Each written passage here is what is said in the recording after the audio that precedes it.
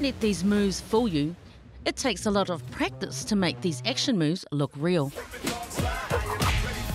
Stuntwoman Samoan Ashlee Fidow walked away from this scene with a few bruises. Tell me about that scene in Baron To'a, because that looked real. Yeah, it was real.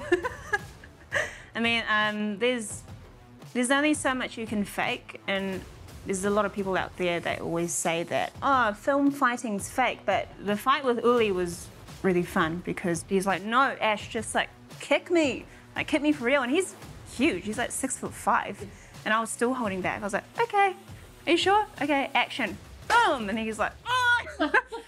and when we cut, he's like, oh my ribs. Working this job for more than 10 years, Ashlee's worked with some of Hollywood's best. Jason Statham worked with him on The Meg that we shot in 2016 about a big shark that comes and terrorizes everyone. Daniel Radcliffe on Guns Akimbo, Luke Evans on The Hobbit. Martial arts was her passion growing up, gaining a black belt in Taekwondo. So when she got to meet her idol, actor Donnie Yen, that was the pinnacle. Donnie Yen on Mulan. Came across him at one of our stunt rehearsals. Like meeting him for me, like being a martial arts nerd when I was a kid. And meeting Ip Man, I was like, whoa, this is so cool. Get to be in the same room as him and then be on the same film too. That was, yeah, that was pretty cool.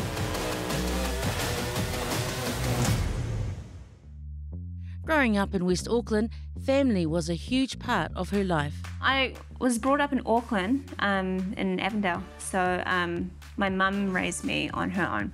My nana had a big involvement in my life and my upbringing, and she was very traditional. But she passed away when I was 11. Mum's Samoan. She supports me like 100%. She just thinks I'm a bit crazy. Ashlee fell into this career by accident. A friend at the time said that there was auditions for stunt girls that they needed for a TV show. So I thought, oh, why not? I'll go for it because of my martial arts background. And it's a lot of hard work. It's definitely not an easy job and it's like be be prepared to do things unconventionally. And also like don't be afraid of being different or um, doing something that's opposite the cultural norm. Looking ahead, she wants to encourage other Pacific Islanders to follow her path. I think it's already happening with uh, opportunities for women to create content, and not just for women, you know, just stories stories in general. Like Hanelle Harris, for example, you know, a Māori woman at the helm of her craft and she's creating opportunities for more people in film. Um, that's why I got to do stunts on, on her two shows. So yeah, I think it's already happening. We just have to have more of it.